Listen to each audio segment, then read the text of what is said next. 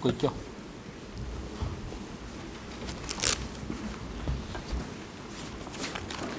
អង្គជំនុំជម្រះប្រកាសបន្តកិច្ចដំណើរការនីតិវិធីសកម្មភាពហើយមុននឹងផ្ដល់វេទិកាជូនទៅក្រុមតំណាងសហវិញ្ញាអង្គជំរះសំសួរទៅក្រុមសហវិញ្ញាថាតើត្រូវការត្រូវការប្រើប្រាស់ពេលវេលាប្រមាណទៀតក្នុងការ ឆ្លើយតបនេះ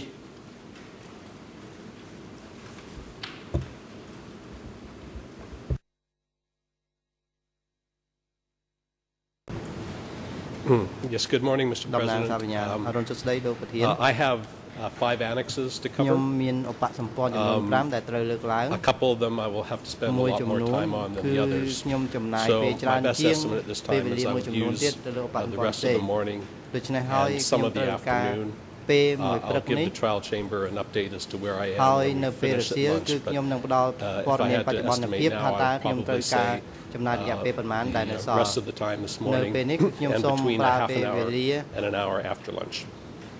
នៅពេលព្រឹកនេះទាំងអស់តែម្ដងគឺប្រហែលជា1ម៉ោងទៅ1ម៉ោងកន្លះដល់ពេលអាហារថ្ងៃត្រង់តែម្ដងសូមអរគុណលោកប្រធានបាទអរគុណសូមអញ្ជើញបន្តការងាររបស់លោក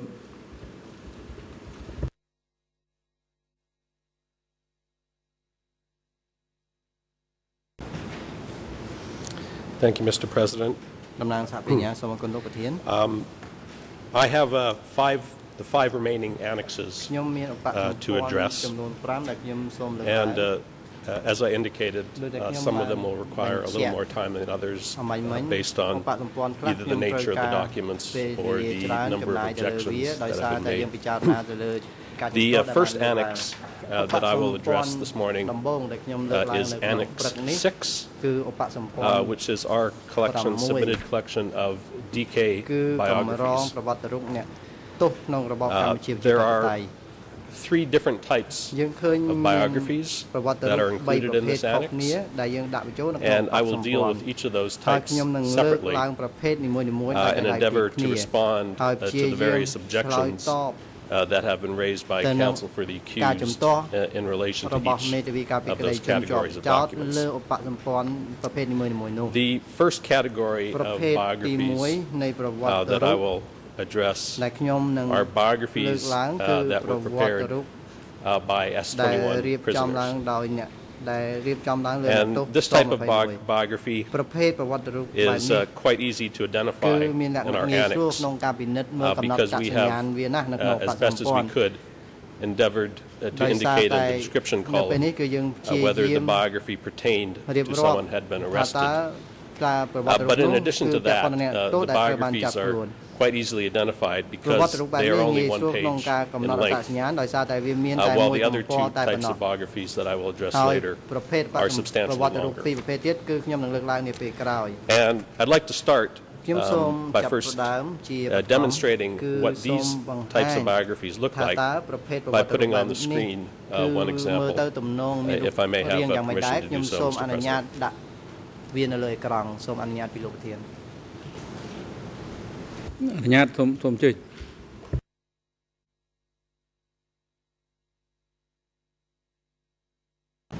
Uh, Thank you. The, um, uh, bi- uh, the uh, Somo biography I'd like to Kono put up ប្រ uh, វ on ត្តិ the រូប screen right ដែល now ខ្ញុំសូមដាក់ is, នៅលើ uh, I អេ think ក្រង់ it's the other one. នៅពេលនេះ Um, The example I wanted to put on the screen now is document D2 ក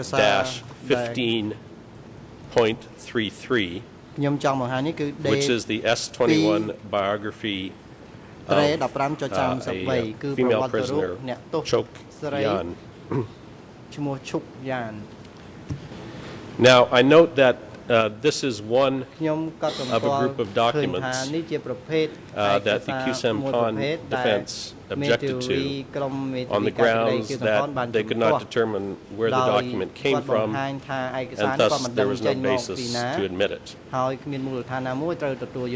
In fact, uh, there is extensive information in the case file about these S-21 biographies of prisoners, uh, biographies that typically included a photograph, as you will see in the example on the screen. And for anyone who has ever visited Tuol Sleng, uh, these photographs will be hauntingly familiar. Um, in terms of where they came from, I would also note that the biographies include handwritten identification letters and numbers from DC-Cam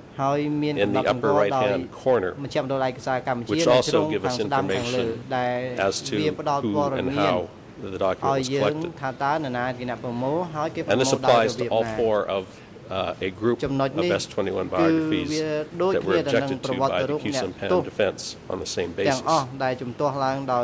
Now, the prima facie authenticity យថាភាព of these បឋម S21 biographies ទៅលើប្រវត្តិរូ is ប confirmed អ្នកទោស uh, by the 21 format of the នេះគឺ documents បញ្ជាក់ itself. តាមរយៈទម្រង់បែបបទនៃ Uh, ឯកសារ most នេះដោយខ្លួនឯង uh, are a standard one-page typed យើងឃើញ form ថាប្រវត្តិរូបនេះ in ជា which ទូទៅ the មានមួយទំ responsible ព័រ S21 cadre ដោយវាយនឹង would handwrite អង់គ្លេសលេខ the personal ហើយ uh, បន្ទាប់មកគឺ biographical and មាន background ការសរសេរ information ដោយដៃទៅលើ when ប្រវត្តិនិង prisoners សាវ would តា first របស់អ្នក arrive ទោស at នៅ S21. ពេលដែលអ្នកទោសចូលមកដល់ស And after that 21 biographical information had been ប្រវ written ត្តិរូប down, ព័ត៌ the មានទាំងអ prisoner ស់ត្រូវ would បាន then សរ be សេរ photographed បញ្ចូលហើយបន្ទា and ប់ the មកអ្នកទោស photo ត្រូវបានគេថតរូប attached to the form. រូបថតត្រូវបានបិទភ្ជាប់ទៅនឹងប្រវត្តិ And រូ you ប can នេះ see that uh, យើង in អា the ច example មើល that we ឃើញ just showed. ជាឧទាហរណ៍ស្រាប់តាម Let រ me យៈ show a ការបង្ second ហាញ example, លើអេក្រង់ uh, which is សូម document ផ្ដល់ឧទាហរណ៍ D2-15.37 ឯកសារ D which is the S21 biography 37 of ប្រវត្តិរូប Nu អ្នក Sovan. ទោសនូសុវណ្ណ And you'll see that លោកលោកស្រី the ចៅក្រម format ឃើញនៅ uh, ទ of this ម្រង់បែប biography បទនៃ is ប្រវត្តិរូប identical នេះគឺ uh, to ដូ the ច one គ្នា we previously ទៅនឹង saw. ប្រវត្តិរូប Uh, ខាងដើម and this consistent format ទម្រង់បែបបទ itself ស៊ីស is ង្វាក់ something ដូច that គ្នា gives us វា uh, an អាច indicia of reliability. ឲ្យយើងឃើញអំពីតម្រុយនៃការជឿជឿទុកចិត្តទៅលើឯកសារ But we នេះបាន also uh, know how these documents យើងក៏ were prepared ដឹងថាតើប្រវត្តិរូប uh, from នេះ the គេ testimony រៀប of ចំតាមរបៀប OCP ណាផងដែរ proposed witness TCW slash 698. ដោយសារ Uh, this តែយើង person was the ដឹងតាមរយៈ S21 សក្ខីកម្ម cadre TCW who was responsible for documenting the entry of prisoners into S-21 and maintaining prisoner lists. And in his OCIJ interview, which is case file document D22/9, This witness explained the procedure by which he completed these biographies upon the arrival of each prisoner at S-21. And that leads me to a second objection uh, that has been made regarding this category of documents by the Nuon Chea team, uh, a unsupported and unsubstantiated assertion that all biographies submitted by our office were made under torture and thus should be excluded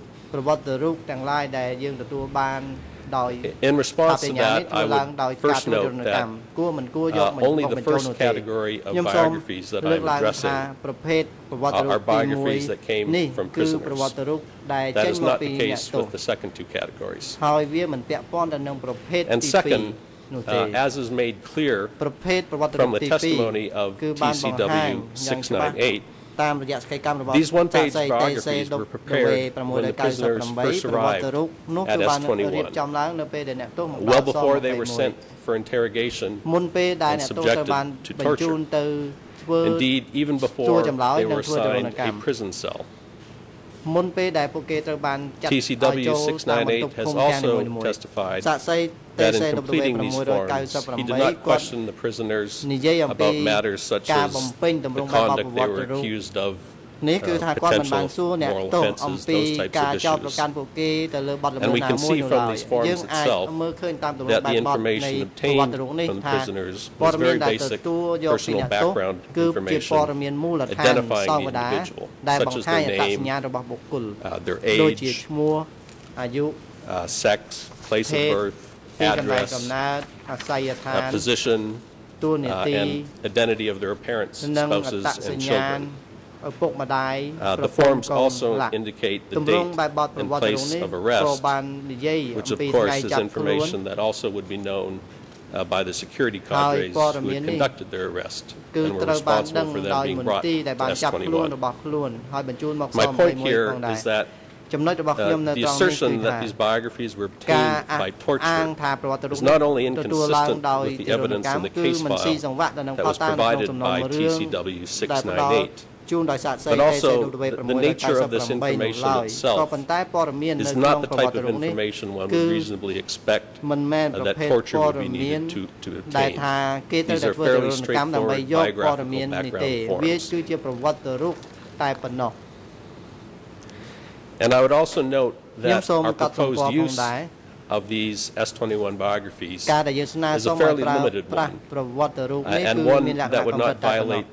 the torture convention in any event, which is simply to use these documents to identify the persons who were arrested and subject to detention. At S21. And I will address the issues regarding S21 confessions and the torture convention a little more. Uh, uh, but at the time, in, terms of the relevancy of these S21 biographies in the current case, case 002/1, um, this information remains relevant in this case because both the S21 biographies and S21 prisoner lists, which is the next annex I will discuss, they are both key sources of evidence that help establish the structure of the democratic Kampuchea regime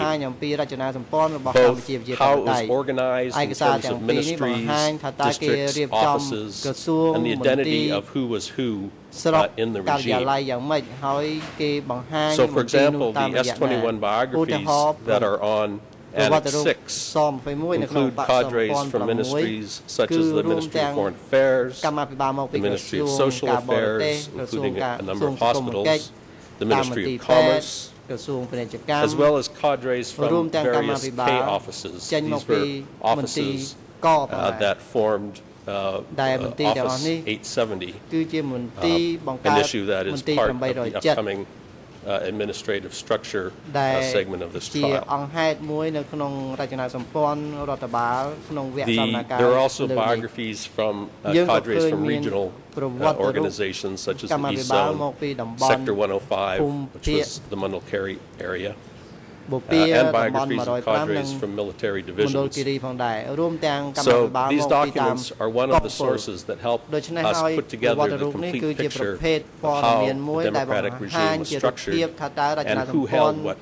ង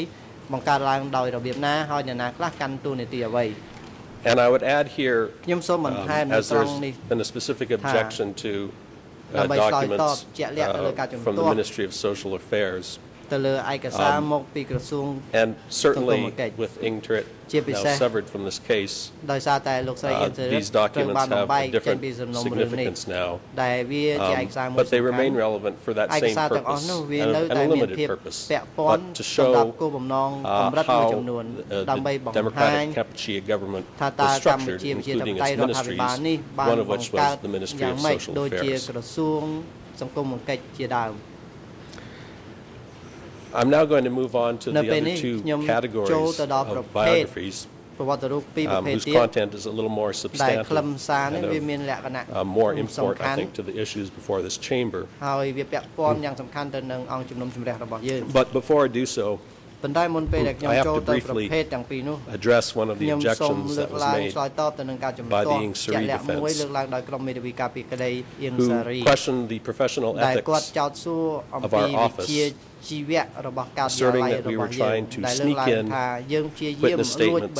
biographies. and demanding an explanation from us as to why these documents had been listed as biographies. And the first example that was cited by counsel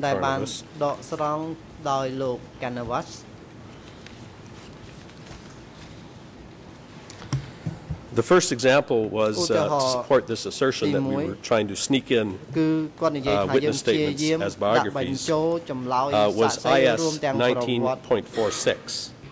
uh, which is the biography of an individual known as Heng Fali. Heng Fali. But if you look at uh, the OCP's Annex 6 of biographies, which is document E109 slash 4.6. This document is number 6 in that annex. And when you look at our annex you will see very clearly that what we have identified as the biography is a single page from this document. A single page Khmer ERN 51643 English ERN 00337 and French ERN 00593 511. That page consists of the biography of this individual. Now, there is a witness statement for this person, which is also part of case file document IS 19.46. And that witness statement was separately listed by us in our Annex 12, which was our annex for witness statements and that is document E109 4.12 and if you look at Annex 12 document number 263 in that annex is the interview of Heng Feli that was conducted by DC This exact same scenario applies for the second example that Mr. Karnavas gave of how our office was purportedly trying to sneak in witness statements as biographies His second example was IS 19.157 IS 19.157 And again, if you look at our ដូ Annex ច្នេះនៅពេល 6, ដែលយើងមើលបកសម្ព័ន្ធ of 6របស់យើង biographies, ខ្ញុំនៃប្រវត្តិ you រូ will ប find identified យើង as នឹងឃើញ document number 27 ឯកសារទី the pages 27 from ដែល that ក្នុងទំ document ព័រមួយនោះ that correspond to គឺ the ឆ្លើយ biography តប of ទី this សង្វាក់ individual, ទៅនឹងប្រវ a ត្តិរូប person របស់ named បុគ្គល Ru M. ឈ្មោះរូអឹម And once again, ជាថ្មីម្ដ the ងទៀត witness statement for this ចម្លើយ person សាក្សីរបស់ is separately បុគ្គលនេះ identified គឺ in our annex of witness statements, Annex 12, as document number 963, The third and final example given by 963 ឧទាហរណ៍ទី counsel, which was IS 3.5 does 3.5 not even include any witness គឺ statement. มันមានចម្លើយសាក Uh, សី this ណាមួយ is នោះទេ rather a វា biography គឺ of ជា a ប្រ person វត្តិរូប which រ is បស់អ្នក followed ទោស by a number of photographs ដែលក្រោ of យ the មក detainee and មាន her husband. រូបថតអ្នកជាប់ឃុំរួមទាំងស្វាមីរបស់បុគ្គលនោះ So I, I bring this up because ដូច្នេះ it ខ្ញុំ is លើកចំណុចទាំង troublesome អស់នេះ to us that the Ieng Sary defense. Would accuse our office of breaching professional ethics. and then cite examples that are demonstrably unfounded. It is quite clear that if counsel had made an effort to read our document annexes before making these rather reckless accusations, he would have seen that we had separately identified biographies in Annex 6 and witness statements in Annex 12. And I don't want to belabor this point any further, uh, other than to say um, that our office uh, takes its professional responsibilities extremely serious ខុសត្រូវវិជ្ជាជីវៈរបស់យើងយ៉ាងហ្មត់ចត់ both our responsibilities to the ការ victims ទទួល of this ខុសត្រូវ country របស់យើង and សម្រាប់ជន our រងគ្រោះនៅក្នុង obligations ប្រទេសនេះនិងកាតព្វ to កិច្ច ensure that រ the របស់ rule យើង of law is ដើម្បី followed ធានានៅការ and that គោ the រពច្បាប់ legitimate rights of the accused និង are ការគោរព respected. សិទ្ធិរបស់ជនជាប់ចោតគឺយើងបានគោរព And I ជាប់ understand that defense យើងយល់ uh, ថា will មេ take ធាវី issue ការពារក្តី with នឹងលើក positions ឡើងជំហ of ររបស់ ours ខ្លួនបញ្ហារបស់ that we ខ្លួន are here ទៅលើការ to have យា a ល័យរបស់ trial on facts and យើងខ្ញុំ law ក៏ប៉ុន្តែនៅទីនេះយើងជំនុំជម្រះតាមអង្គ and that they ច្បា will ប់ vigorously និង challenge អង្គហេតុ us. ហើយពួកគាត់ធ្វើការជំទាស់ទៅលើ But I ចំណុ hope ចទាំងអស់នេះ that in the ក៏ future ប៉ុន្តែខ្ញុំសង្ឃឹមថា um, នាពេលអនាគ we ត will stick to legitimate យើង advocacy ធ្វើយ៉ាងណា and avoid គោរព uh, this ការ type ត of ទល់ behavior គ្នាហើយជៀស of វាងកុំ making, I ឲ្យ think, reckless and unwarranted ការសម្ដែងអ assertions រិយាប័ត្រដែលមិនប្រ regarding យ័ត្នប្រ ethics. យែងហើយគ្មានមូលដ្ឋានបែបនេះ That said, I would like now to move on នៅពេល to នេះ ខ្ញុំ The ចប់ចំណុច second នេះហើយ category ខ្ញុំចូលទៅដល់ប្រភេទប្រវត្តិ of uh, biographies uh, that are included in Annex 6. And these are uh, what are titled as revolutionary biographies. And Annex 6 includes a number of uh, biographies, revolutionary biographies, of cadres from various ministries, zones, and other uh, DK organizations, uh, including three revolutionary biographies of cadres from Sector 105, uh, which are documents numbers 10, 26, and 39 on Annex 6. That's documents 10, 26, and 39. There are examples of these មានឧទា forms ហរណ៍ uh, បង្ហាញ for អំពី cadres ទម្រង់បែប from បទ both the Ministry of Commerce ដែល and បង្ហា the ញ Ministry កម្ of មាភិបាល Social មកពីក្រ Affairs. សួង Those are និងក្រ documents សួងសង្គម uh, កិច្ច 28 គឺឯក and សារ 35 លេខ on Annex 28និង35ក្នុងបទសម្ព័ន្ធ And there is 6 also a revolutionary biography យើងក៏ឃើញ of a មាន messenger ប្រ who វត្តិ worked at រូប S21, បៈរ which របស់ is ជនបដិ document វត្តន៍ 27 ដែលក្នុង on the នោះ annex. មាននៅក្នុងឯកសារ And 27នៃឧបសម្ព័ន្ធ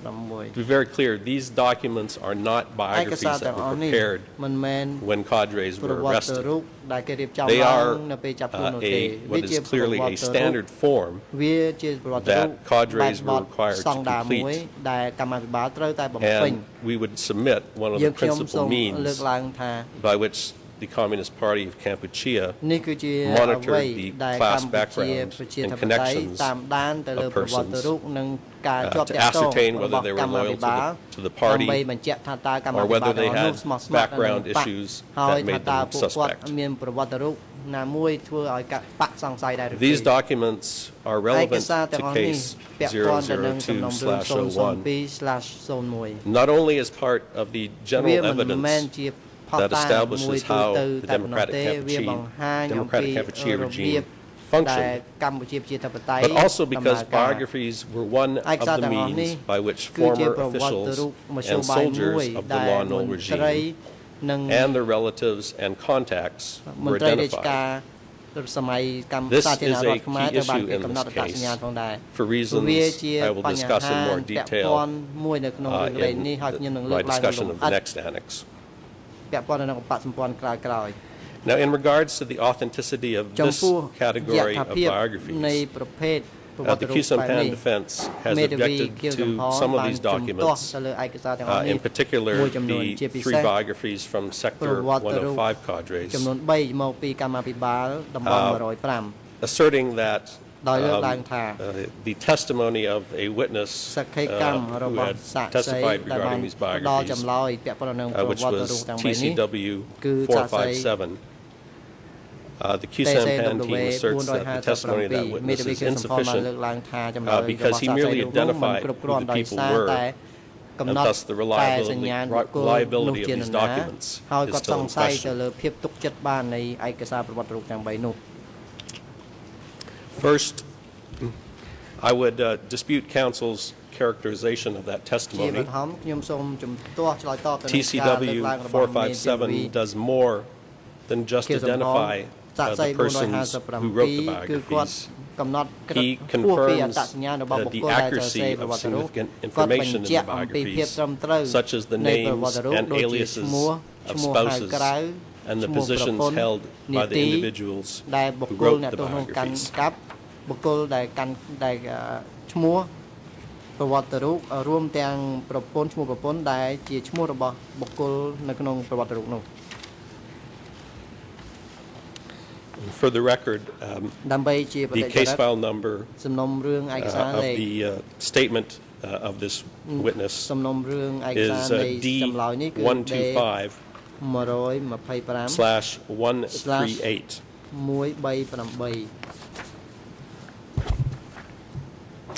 But i- in addition to the testimony uh, One time of this pending. witness, which បន្ថែម corroborates ទៅលើសាក្សី the ចម្លើយ authenticity របស់សាក្សីដែល uh, ស៊ីសង្វាក់ of these គ្នាទៅនឹង documents. យថាភាពនៃឯកសារ and I would remind the chamber ខ្ញុំ that សូមរំលឹក the អង្គ prima ជំនុំ facie ជម្រះ standards ថា for បទដ្ឋាន admissibility have ជាប already ឋ been ម laid នៃការ out. ទទួលយកនិងភាពទុក And there is ចិត្តបាននេះបាន absolutely no បង្ហាញរួចមក indication ហើយ here ហើយគ្ that មានស these ញ្ញាបញ្ជាក់ណា biographies are មួយថា forgeries. ប្រវត្តិរូបទាំងអស់នេះគឺ To ខ្លាំង the ខ្លាយឡើយ contrary, ផ្ ទុយមក uh, វិញ it is quite interesting វាជាការ uh, to ចាប់ put អារម្មណ៍ all មួយ these សម្រាប់យើង biographies ដើម្បីដាក់ together បញ្ចូលប្រវត្តិរូប and ទាំងអស់ see នេះ that រួម they គ្នា have, ដើម្បី uh, ពិនិត្យមើល a ថា common តើ format ប្រវត្តិ and ទាំង structure. រូបទាំងអស់នេះមានរច That នាសម្ព័ន្ធ applies, បទទម្រង់បែបបទ uh, រួមគ្នា uh, ដែរឬទេ to uh, the, bu- uh, all the ករណីនេះ organizations. ដូចគ្នាទៅនឹងប្រវត្តិរូបចេញមកពីគ្រប់អង្គការរបស់ And សម័យនោះផងដែរ I will get into that in a ខ្ញុំ little នឹង more ចូលទៅដល់ detail ចំណុចនេះ uh, នឹងល in ម្ a អិត moment. នា ពេលបន្តិចទៀតនេះ Uh, But suffice it to say ក៏ប៉ុន្តែ that ខ្ញុំសូមបញ្ជាក់ថា there is a common format វាប្រវត្តិ uh, រូបទាំងអស់នេះ to វាមាន these ទម្រង់បែប revolutionary បទរួម biographies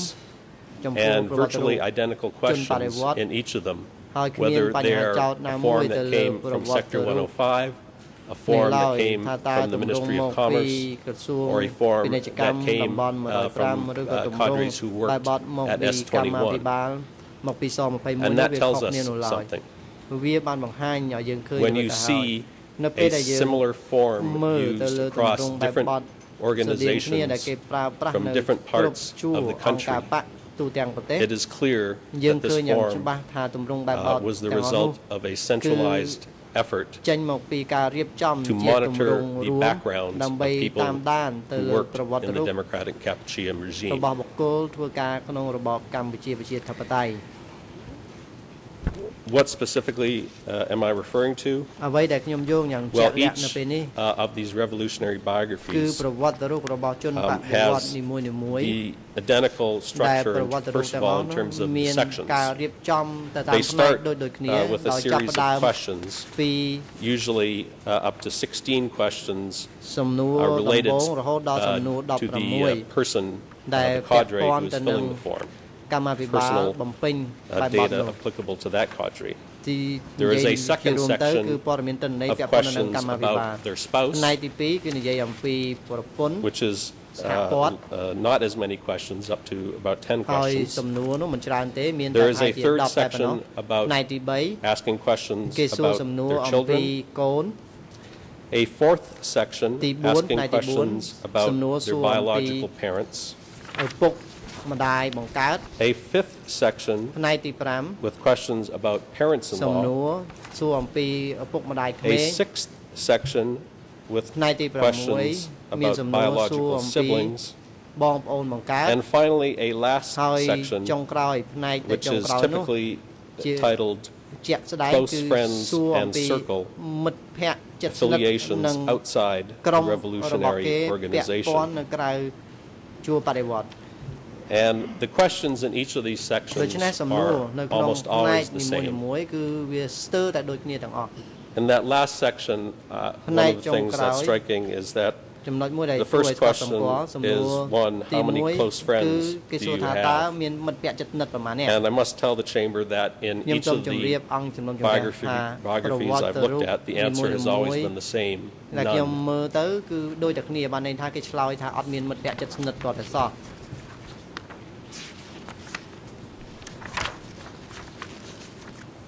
Now, I will, I will go through a few of these questions, ខ្ញុំនឹង um, លើកឡើងសំណួរ but I turn now to, ទាំង to នេះមួយចំនួន explain ក៏ប៉ុន្ uh, តែនៅពេល briefly នេះខ្ញុំ the សូមពន្យ um, ល់ដោយខ្លីៗ relevance ដោយសង្ខេប of these អំពី uh, ភាព uh, ពាក់ព័ន្ធ category, this នៃ category of biographies, the ប្រភេទ revolutionary biographies. ប្រវត្តិរូប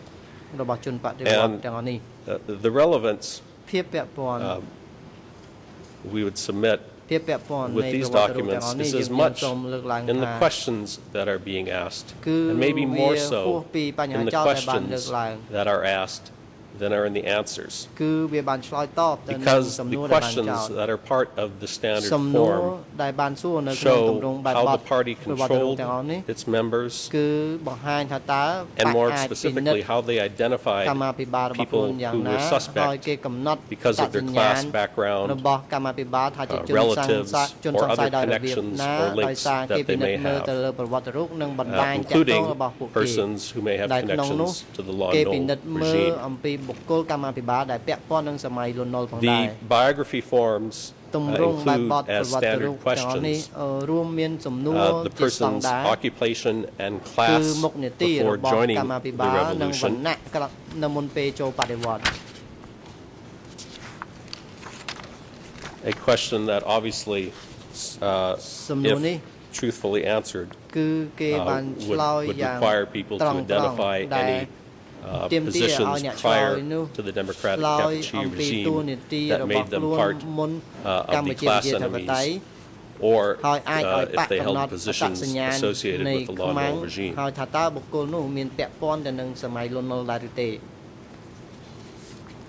There is a series of questions in each of these uh, biographies that asked uh, when they were when they joined the revolution, who introduced them, ចូលបដិ and វ what ត្តនៅ the ពេល reason ណា was នរណា for ជាអ្នក joining. ឧទេសនាមហើយហេតុផលអ្ and វី they បាន ask ជាចូលបដិ separate វត្ត questions as to when they joined the revolution មានសំណួរដែល when គេ they joined សួរ the youth ដោយឡែក league ដោយឡែកថាតើ and when they ចូល in- បដិវ uh, ត្តជាក់ joined លាក់ the ឆ្នាំ party ណាចូល organization, as បក these were អង្គការ di- បក different នៅឆ្នាំណា steps in the នេះហើយជា process សំណួរដែលគេ uh, សួរតាម that ដំណា a ក់ person ការ had to go through in ដែល order to become a អ្នក member ឆ្លើយនោះ of the Cam- ត្រូវតែ Communist ឆ្លើយ Party ហើយ of Kampuchea. ត្រូវតែបង្ហាញអំពីដំណាក់កាលដែលខ្លួនចូល They នៅក្នុង asked បដិវត្តមុនពេលចូលនៅ uh, ក្នុង what their education Samaja Pak. was in the old ហើយបន្ទាប់ regime. មកគេសួរអំពីចំណេះដឹងនៅក្នុងសម័យចាស់តើមានចំណេះដឹងត្រឹមកម្រិតណា They asked សំណួរក៏បាន how សួរ often has your revolutionary biography and Tata. self-criticism be, been Pro- what- examined? ទៅរូប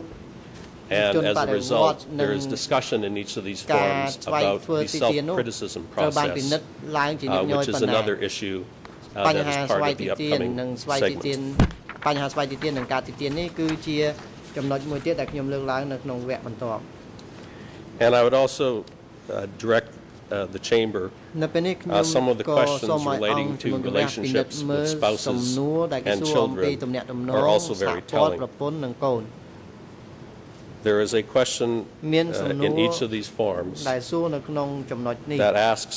uh, in relation to the ដែល individual spouse សួរអំពីទំនាក់ទំនងជាមួយ uh, នឹងសហ quote, ព័ន្ធឬ in ក៏ human nature, ប្រពន្ធឬប្តី how does he or she love, hate, and Tha ta- affiliate him or herself with you as Prapon. husband or wife? ប្តីនោះថាតើមាន And ការ also ស្រឡាញ់ a គ្នា question that asks ប៉ុណ្ណាដែរក្នុងនាម how ជាប្តី much ប្រពន្ធ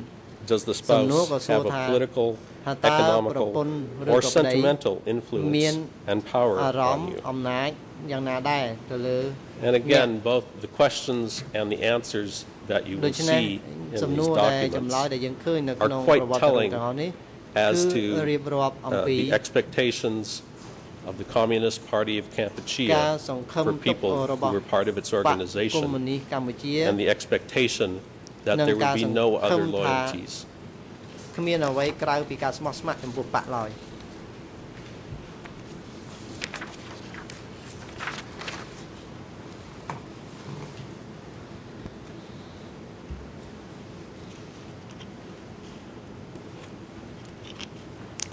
Your Honors, I'll now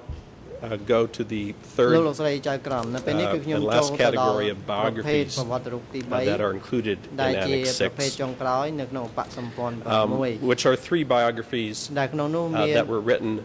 by cadres from the Ministry of Foreign Affairs, uh, all uh, apparently around the same time, December 1976. គឺនៅក្នុងពេលតែ You will សិតដូច find គ្នា uh, គឺខែធ្នូ these ឆ្នាំ documents in 1976 Annex លោកលោកស្រី 6 as នឹងឃើញ documents ឯកសារ number នេះ 12 នៅក្នុងបកសម្ព័ន្ធ 37 and 40. 6ត្រង់ជួរ12 37 And they are និង not 40 forms, ប្រវត្តិរូប forms like the revolutionary biography documents that I just discussed. But these are lengthier documents uh, written in a narrative style, providing a, a detailed history uh, of the individual. The uh, trial chamber has, in fact, previously uh, uh, seen a, uh, one such document, uh, which was the biography written by Long Narin. Uh, the the number of that document uh, which is before the chamber is E3 slash 128 and the chamber will recall that Ieng Sary requested Long Narin to write this biography after inquiring whether he was CIA And the three biographies uh, that I just referenced that are part of Annex Six are very similar to that of Long Narin One of the ប្រវត្តិរូប cadres, ដែលវាមានស្តៀងគ្នាទៅនឹង uh, Ministry of Foreign ប្រវត្តិរូបរបស់ Affairs ឡុងណូរិននោះ cadres, គឺមាននៅក្នុងបក is ស a ង្ព័ន្ធ witness មួយដូចតែខ្ញុំបាន uh, លើក who ឡើង is scheduled to appear before the មាន chamber សាក្សីមួយដែលគ្រោង at នឹងមកផ្ដល់សក្ខី TCW កម្មនៅចំពោះមុខ 724. អង្គជំនុំជម្រះគឺ TCW His testimony 742សក្ខីកម្មរបស់សាក្សី um, in his OCIJ statement provides a, very similar account uh, uh, Long Narin uh, as to the circumstances that led him to write the biography. Specifically, uh, in his statement, which is case file, a uh, document D199-20, slash TCW សាក់សី 724 TCW Testified as follows. 742បានឆ្លើយដូចតទៅ quote សូមដកស្រង់សេចក្តី question why were you asked to write your autobiography? Answer, because I was accused of being a KGB and CIA agent. One had to justify one's past by revealing it. Question, who asked you to write your autobiography? Answer, Ieng Sary himself. I believe he received the order from above but I am not positive about this. The autobiography was written in December 1976, so it came as a result of accusations. Question, did you have to answer specific prepared questions? Answer, yes, បចំទុកឲ្យលោក and I also had to talk about the things I had done in the past. ត្រូវតែនិយាយអំពីអ្វីដែលខ្ញុំ Ieng Sary had suggested I should do this well in ស្នើ other ឲ្យខ្ញុំសរ words សេរ fill បាន in the ល្អ form ហើយឲ្យ correctly បំពេញទម្រង់ by បែប this បទនោះឲ្យ he បានត្រឹ meant ម that ត្រូវ my answers should reflect the ហើយ spirit គាត់ of ប្រាប់ the ថា questions ចម្លើយរបស់ខ្ញុំត្រូវតែឆ្លើយ I ទៅនឹងសំ therefore ណួរ wrote that my ដូ grand ច្នេះហើយ grandfather ខ្ញុំស who រ was សេរ prime minister in three governments អំពី was a traitor ជីតារបស់ The ខ្ញុំ Khmer Rouge ដែលជា were fond រដ្ឋមន្ត្រី of this នៅ sort of ក្នុង thing. សម័យមុន question សំណួរ your first wife was French ប្រពន្ធរបស់ and លោក I'll ទី omit 1 the name គឺ reference ជា was that បារាំ a ង problem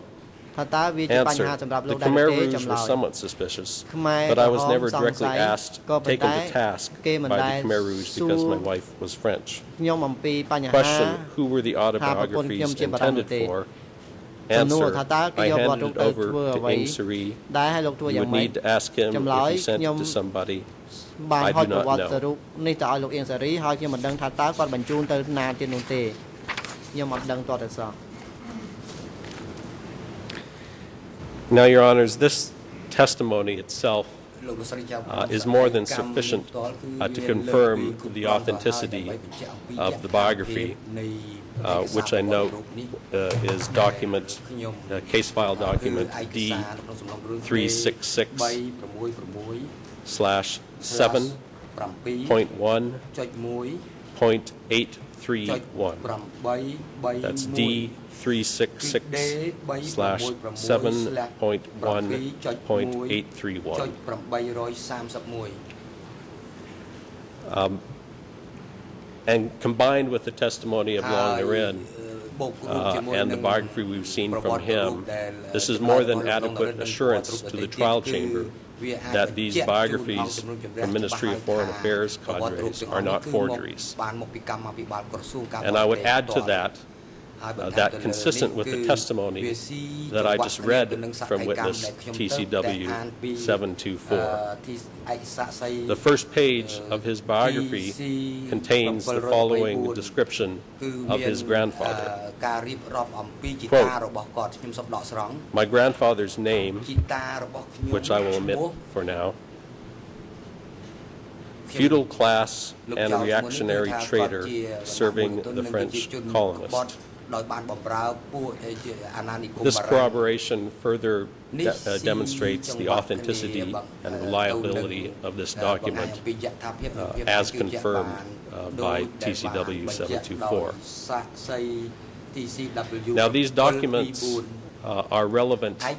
in this case uh, in a number of ways. Um, first,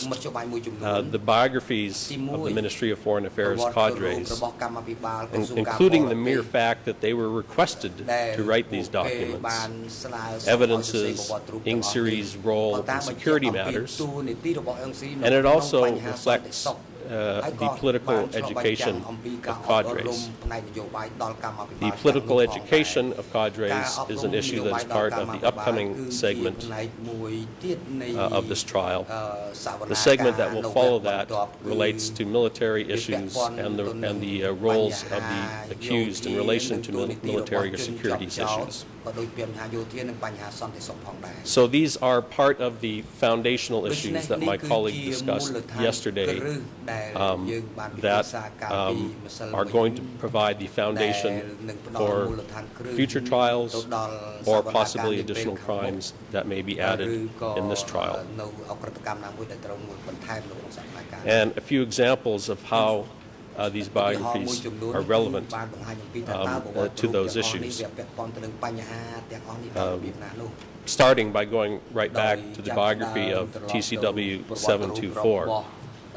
Um, who again testified that he uh, wrote this after being accused of being a KGB or CIA agent. And again, this document, uh, which is D 366 slash 7.1.831 uh, contains the following statement at the very outset of the biography. Quote, our comrade in charge has reported that our class enemy has brought accusations on me.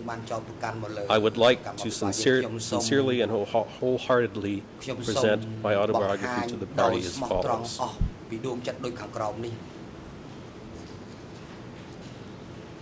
So from the very start of this document, it evidences Ieng Sary's involvement and role in security matters and in monitoring his responsibility to monitor the cadres in his organization. One of the uh, uh, two other biographies of Ministry of Foreign Affairs cadres is document D 366 slash 7.1.829. And I do not believe this witness has been, uh, this individual has been listed as a witness by any party, but he is a person,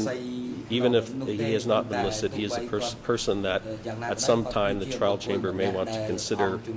uh, hearing. Um, So I will refrain from reading his name into the record at this time. Um, but he is someone that, um, at least as of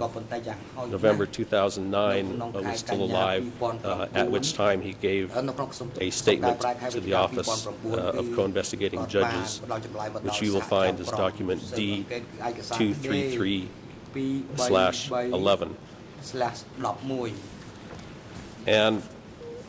uh, his biography, um, this is a one of the intellectuals uh, who studied in France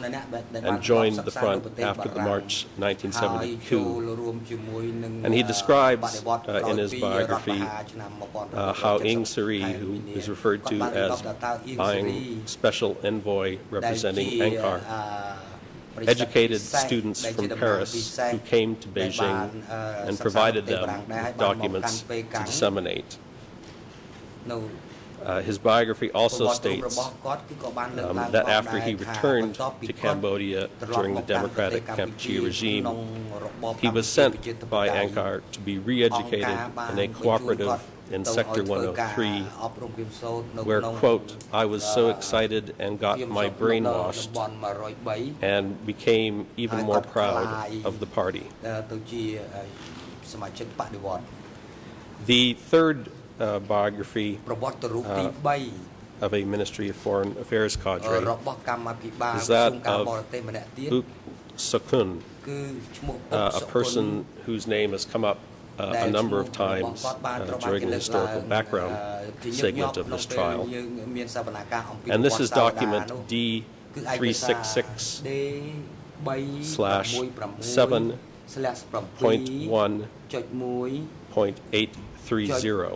by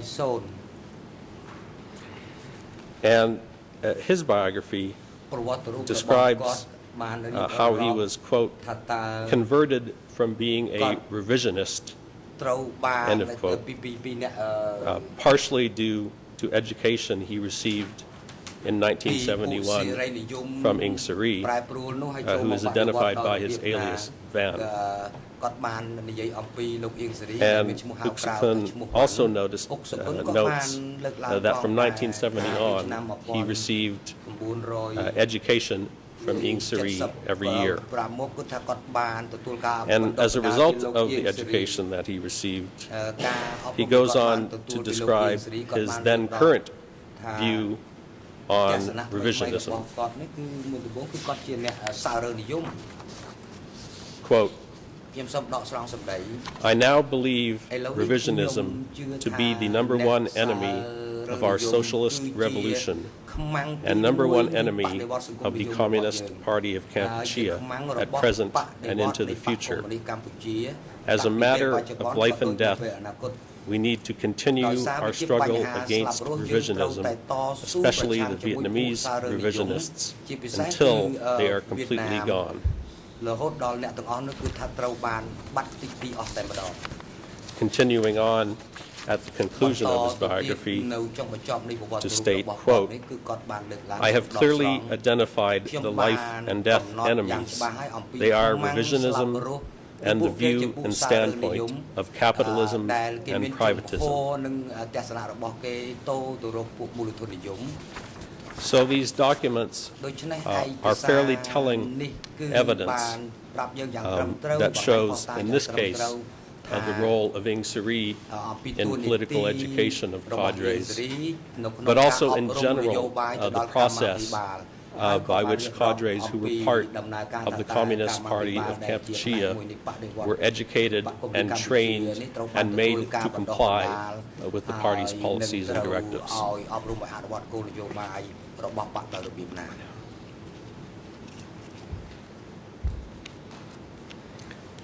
These biographies uh, also show us, in some cases, who were the groups and classes that were targeted by the CPK. Uh, as the uh, cadres um, I had to explain uh, their contacts and connections with persons from various groups or classes. And one such targeted group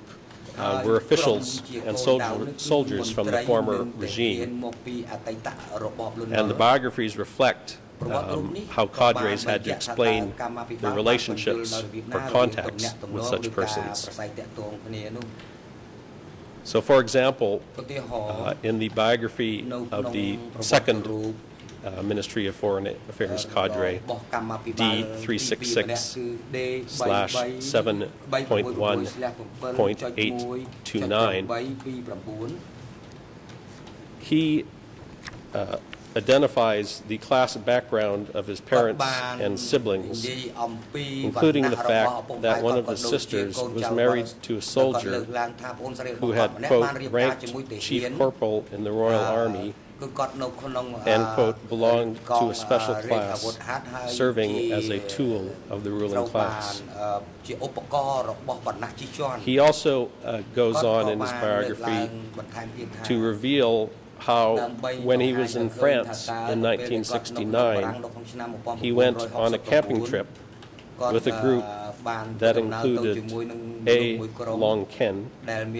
who was the traitorous Lon Nol's nephew, and also a Frenchman who was, quote, an agent of the French imperialists. So again, these biographies reflect who it was that the CPK considered enemies of the party um, for whom cadres had to explain their contacts. And in this case, uh, that uh, the particular uh, enemies were people associated with the Lon Nol regime. Uh, in fact, the fact that this cadre had had a camping trip in France with Lon Nol's nephew. And this is also, I think, a, uh, a concrete example of the very invasive structure that was implemented, implemented by the CPK, in which no detail uh, of a person's current or past life was private, and no, sto no stone was left unturned in their search for potential enemies. The biographies also contain uh, miscellaneous other facts uh, that are relevant to issues before the chamber, uh, in this case, including historical background facts, uh, and in some cases the forced movements. Um, for example, the biography of TCW 724, uh, which, uh, to repeat, is document D366 slash 7.1.831, uh, contains the following statement in its concluding section.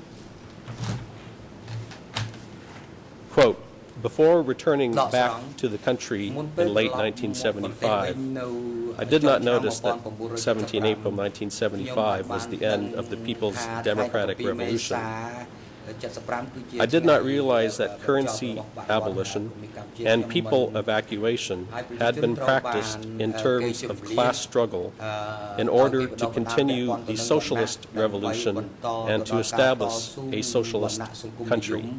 Then I realized that they were very important acts that needed to be done after exhausting war. They were just the necessary measures.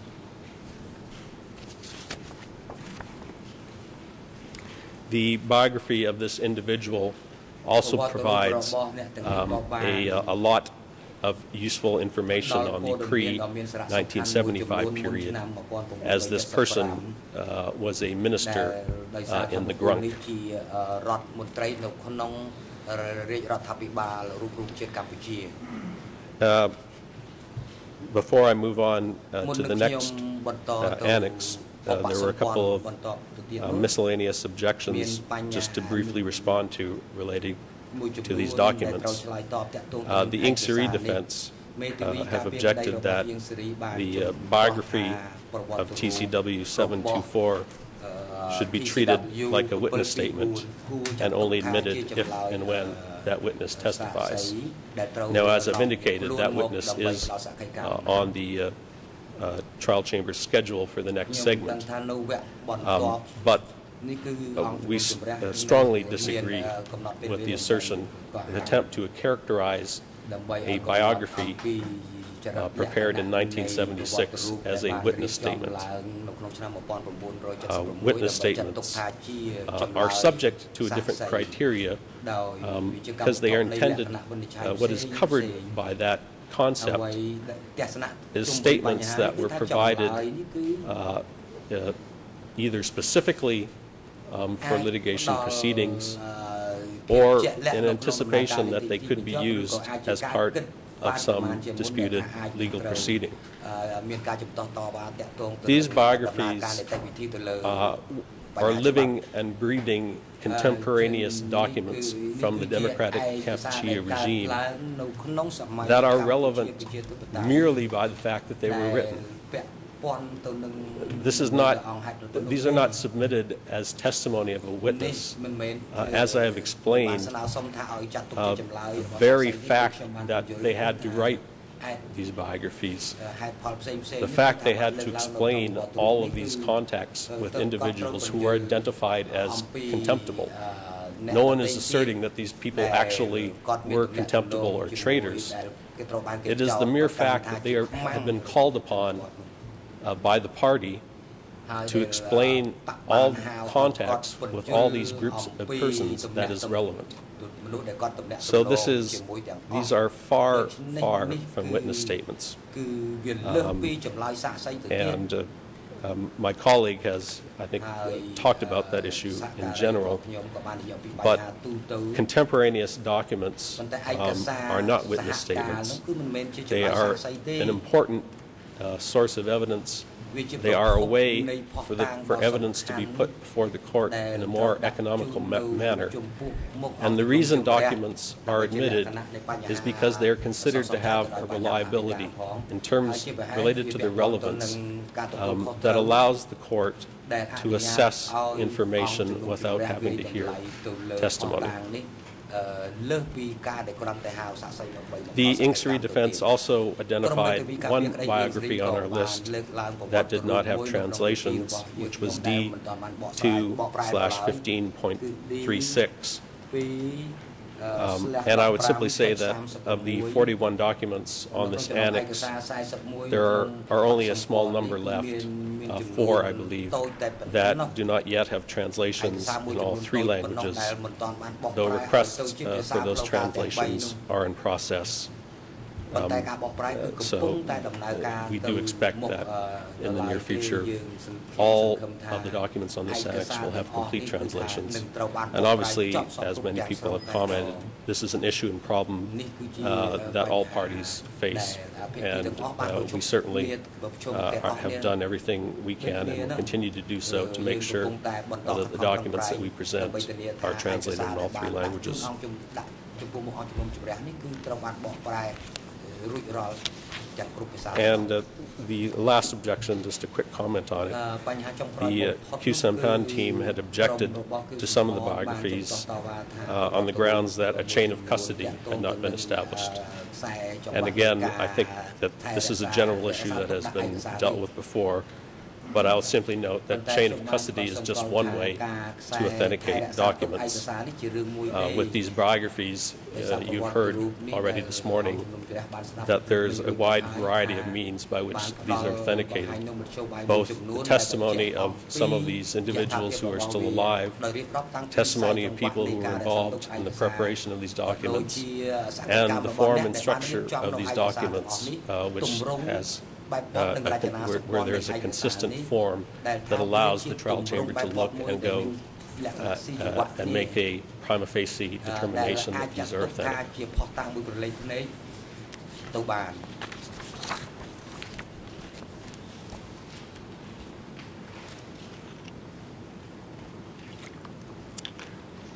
The um, second uh, annex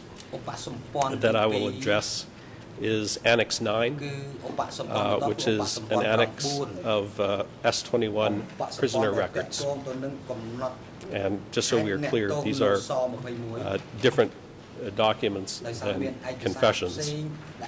Um, there were very few objections stated to this annex um, during the hearings the last few days, so I hopefully can cover uh, this annex relatively quickly.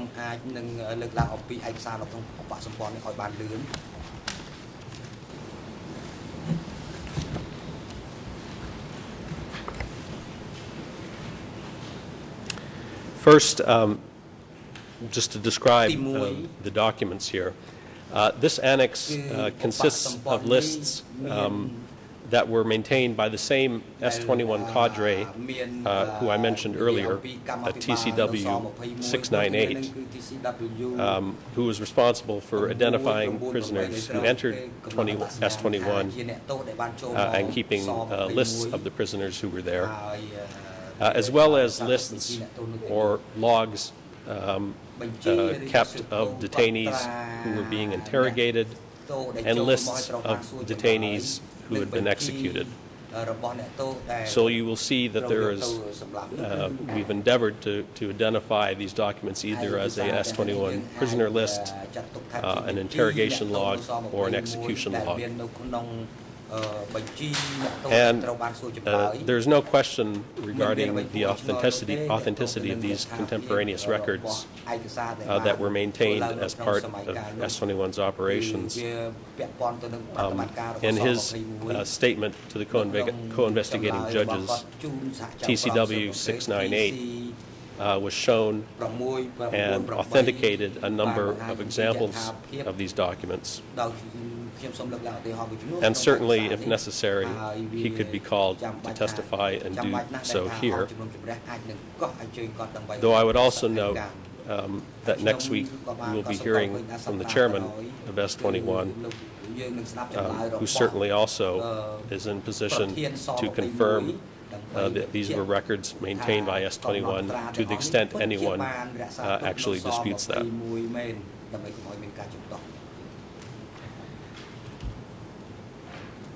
Now, in regards to relevance, um, as with the S21 biographies តាក់ទងទៅ that I វត្តរូប discussed អឺ earlier, នៅស21ដែលខ្ញុំ the បាន uh, លើកឡើង general ខាងដើម relevance គឺ of ពាក់ព័ន្ធជា the ទូទៅ prisoner lists គឺបញ្ជី in អ្នក case ទោស uh, 002/01 is again simply to assist in identifying the organizational structure of the Democratic Kampuchea regime and the identity of cadres who held significant positions. Uh, because S21 was used to purge uh, cadres from all DK organizations across the country, one can identify going through these prisoner lists lists uh, the names of K offices that form 870, the names of districts within particular sectors and zones, the organizational structure of the military, um, the ministries that were in existence and staffed by cadres, uh, uh, and of course the identity of leading cadres um, from those organizations who were purged. Uh, so the primary use um, and as my colleague pointed out yesterday, uh, these lists were submitted at a time uh, when, uh, prior to the severance of the case. Nonetheless, um, were, there was an effort to identify uh, documents relevant to the, these first phase issues. And these S21 prisoner lists remain relevant for this contextual background issue of helping to identify what were the various organizations within Democratic Kampuchea and who uh, the individuals were who, were who were from those organizations. Uh, but in addition to that general use, um, some of the S-21 prisoner records are also relevant to show that the CPK, in fact, did target former officials and soldiers of the Lon Nol regime. This is a, uh, a critical issue in case 002/01, um, as the accused are charged with using the evacuation of Phnom Penh as a strategy and means to remove enemies from uh, the base, their cities, uh, and to identify and execute or eliminate those enemies as part of the evacuation. This included uh, executions of Lon Nol soldiers and officials uh, who were identified at checkpoints outside Phnom Penh, and the targeting of this group continued, of course,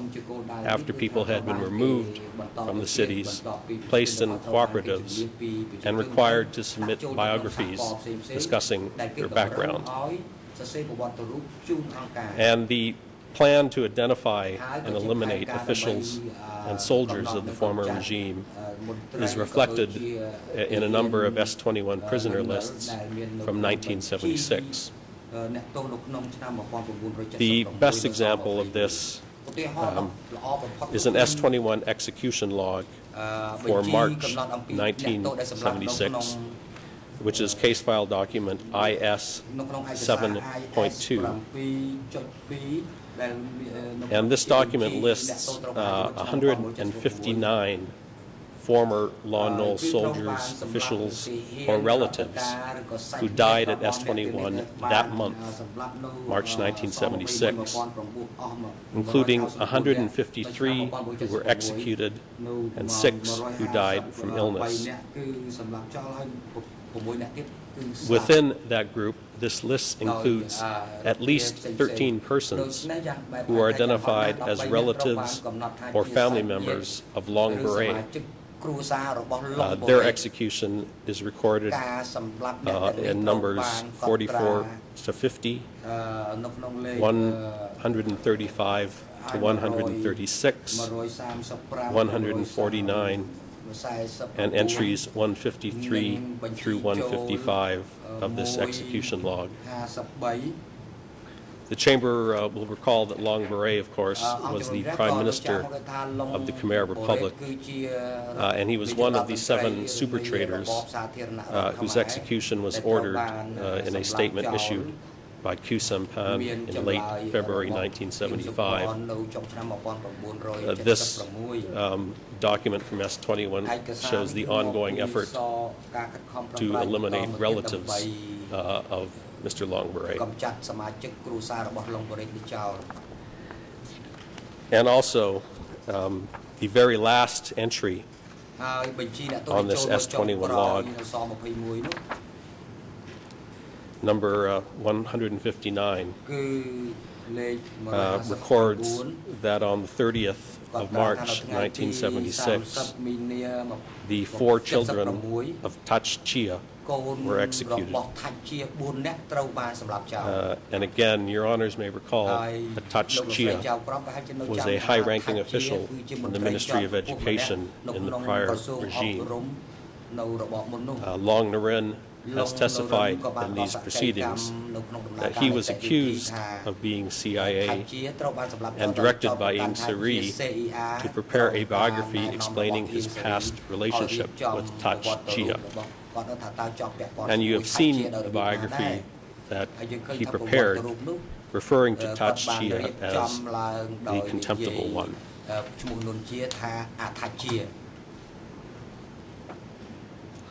Now, while Long Narin um, uh, survived and was able to testify in these proceedings, the relatives of Tach Chia uh, did not. Um, in addition to the four children whose execution is recorded in IS 7.2, uh, Duch has testified that the wife of Tach Chia. was killed in the most ត្រូវ horrific of ways បានសម្លាប់យ៉ាង through live សាហាវ medical ព្រៃផ្សៃបំផុត experimentation. អឺដើម្បីជាការដកពិសោធន៍សម្រាប់ការការបដិសពផ្នែកខាងវិទ្យាសាស្ត្រ Uh, other examples of S-21 prisoner records uh, that are relevant to establish the CPK policy targeting Lon Nol sol soldiers and officials. are D312.1.46, D312.1.46, which is a 22 March 1976 list recording the execution of 47 uh, uh, former soldiers uh, from the previous regime. And also D108 slash 26.16. That's D108 slash 26.16 which is a list of six S21 prisoners from 1976 uh, identified as former government officials, including one person who was a palace clerk who is recorded as having been executed.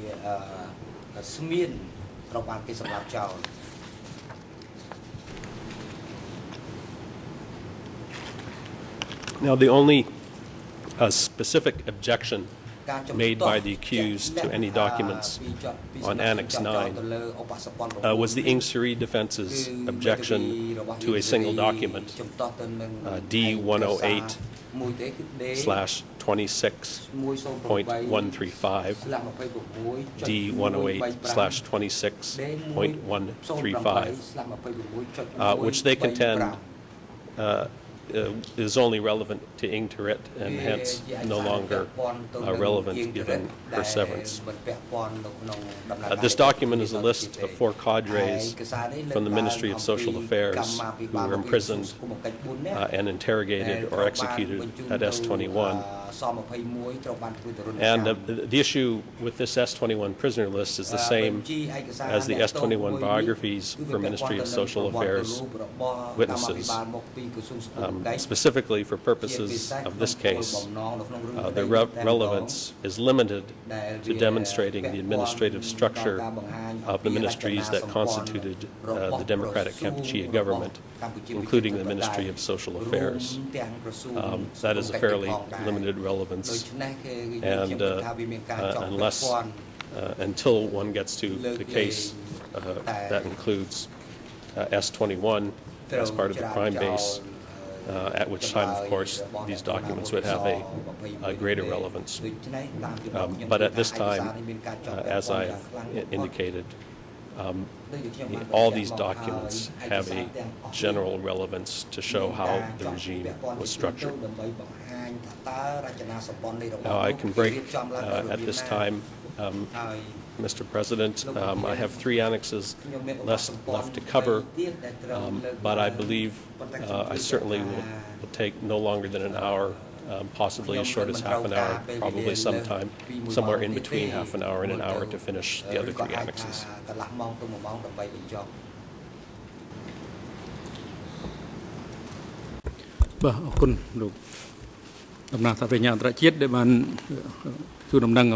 Thank. លះម៉ោងទៅ1ម៉ោងដើម្បីបញ្ចប់បាទអរគុណលោកតំណាងសហប្រញ្ញាអន្តរជាតិដែលបានជួនដំណឹងអំពីការអឺប្រមើលមើលអំពីពេលវេលាដែលត្រូវប្រើប្រាស់នៅរុស្ស៊ីនេះ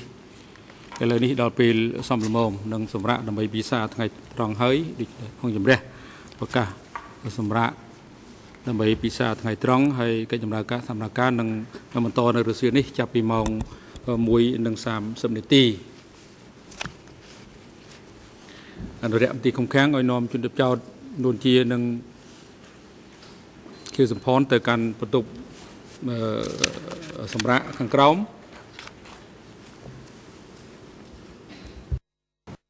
សូមអញ្ជើញលោកមេធាវី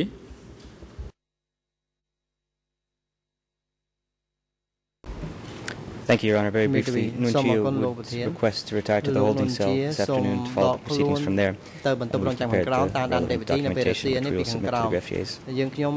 Thank you. សូមអរគុណលោកប្រធានបាទអរគុណបានស្ដាប់សំណើសុំរបស់លោកនួនជាដែលធ្វើឡើងតាមរយៈមេធាវីការពីក្តីរបស់គាត់សូម ទៅតាមដានកិច្ចដំណើរការសកម្មភាពពីចម្ងាយតាម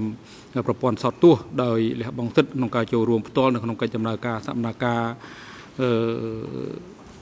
ដោយផ្ទាល់នៅក្នុងបន្ទប់សកម្មភាពនៅក្នុងរុស្ស៊ីនេះដោយក្រមមេធាវីបានរៀបចំនៅលិខិត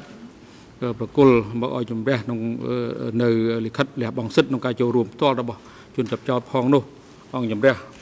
សម្រាប់យល់ព្រមតាមដំណើរសុំរបស់ជនជាប់ចោត ហើយឲ្យក្រមមេធាវីការពារជនជាប់ចោតប្រគល់មកឲ្យអង្គជំរះភ្លាមនៅលិខិតលះបង់សិទ្ធិ